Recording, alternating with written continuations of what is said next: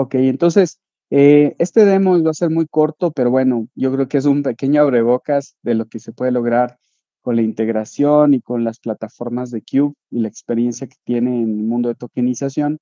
Vamos a hacer un proceso de onboarding para emitir una tarjeta con el sistema de emisión instantáneo 6 y al final van a ver eh, la tarjeta virtualizada, tokenizada para ver un tema de CBB dinámico y pagos contactless, ¿no? Entonces, voy a arrancar validando mi información como una persona que está haciendo un proceso digital en la página. Todo esto es totalmente configurable, personalizable para la institución. Entonces, supongamos que la persona quiere abrir una cuenta o quiere solicitar una tarjeta, eh, arranca su proceso de onboarding. Eh, puede escoger pasaporte, licencia, todo esto lo pueden ustedes definir en el proyecto y se puede hacer con la cámara web o con el celular. Yo en mi caso lo voy a hacer con el celular porque me es más cómodo.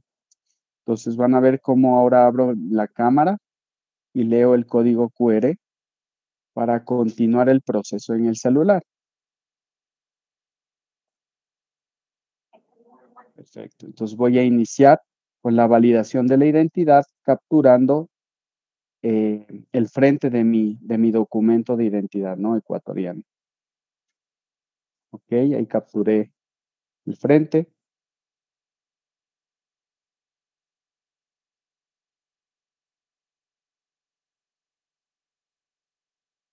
Perfecto, me pregunta si, si la, información es correcta.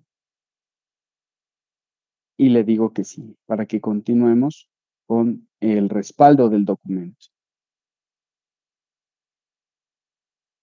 ¿Ok?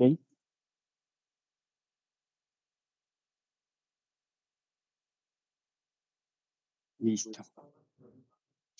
En este momento vamos a hacer la prueba de vida. Cabe mencionar que aquí se hacen varias validaciones con inteligencia artificial, como comprobar la selfie con la edad que registra el documento y también se podría integrar al registro civil de cada país, ¿no? Entonces voy a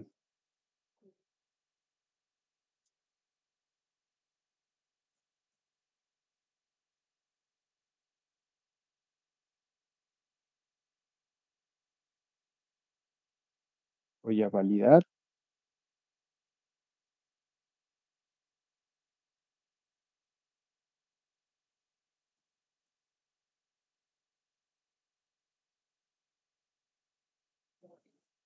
Y aquí está haciendo justamente todos los análisis de inteligencia artificial para comprobar que sea una persona, que no sea una foto, que no sea una máscara de látex, todas las validaciones deepfake que se pudiesen intentar hacer las valida. Y como vieron, fue algo súper fluido, eh, no requiere ningún tipo de fricción, que realmente muchas veces lo que hace al usuario es eh, desanimarle por la complejidad de otro tipo de pruebas, ¿no? Es extremadamente fácil y es una solución que el año anterior llegó a, un, a mil millones de validaciones a nivel mundial, ¿ok? Bueno, vamos a continuar, entonces ya validé mi identidad y ya me permite continuar el proceso. Entonces aquí yo voy a hacer una emisión de una tarjeta eh, física y virtual. Eh, como pueden ver, tomó los datos de mi documento. Tomó mi número de documento, mis apellidos, eh, etc. Esto normalmente en vivo es rapidísimo, ¿no? Es por la integración para integrarlo al Teams, que se ve como en, cámara lenta moviéndose las cosas. Pero es súper rápido. Ok. Entonces vamos ahora a emitir la tarjeta. Hemos preparado una tarjeta que simula una tarjeta innominada, ¿cierto? De, la institución. Esta tarjeta debería estar con el chip grabado, con la banda magnética también grabada, pero sin datos. Y vamos a ver la emisión instantánea haciendo uso de eh, justamente la solución 6.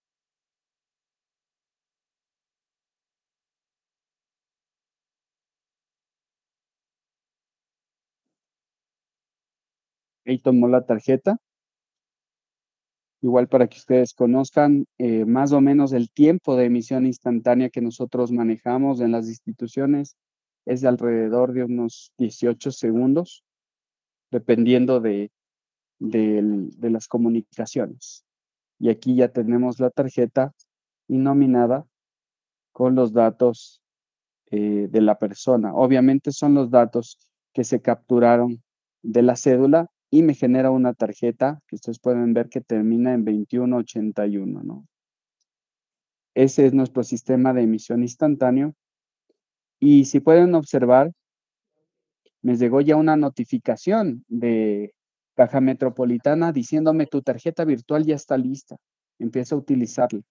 Así que vamos a abrirle aquí, la veo que está creada. Voy a aceptar los términos y condiciones muy rápidamente. Y pueden ver que la última tarjeta que termina en 2181 es la que se acaba de crear, ¿no? La voy a poner como predeterminada.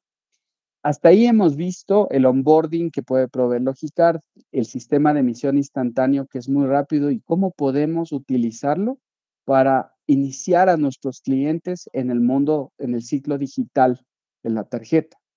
Ahora, yo quisiera mostrarles cómo funciona tan sencillo un CBB dinámico.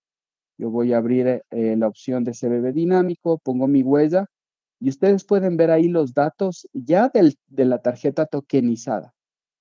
Si se fijan, es un número totalmente distinto al de la tarjeta física.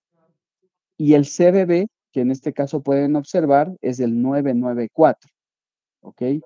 Este valor yo lo podría ingresar con toda confianza, con toda tranquilidad en una compra, porque se, se utilizará una sola vez. Y si yo vuelvo a ingresar, pueden ver que el CBB cambia inmediatamente a 285.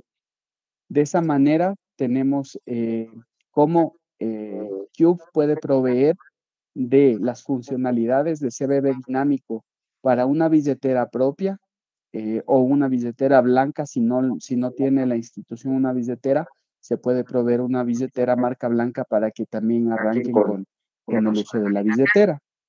Y si yo quisiera hacer un pago contactless, es tan simple como tocar la imagen de mi tarjeta y poner mi huella y está listo para hacer tap and pay. Yo podría esto acercarlo a una red de, POS y, y, se haría la transacción con la tarjeta tokenizada. ¿no?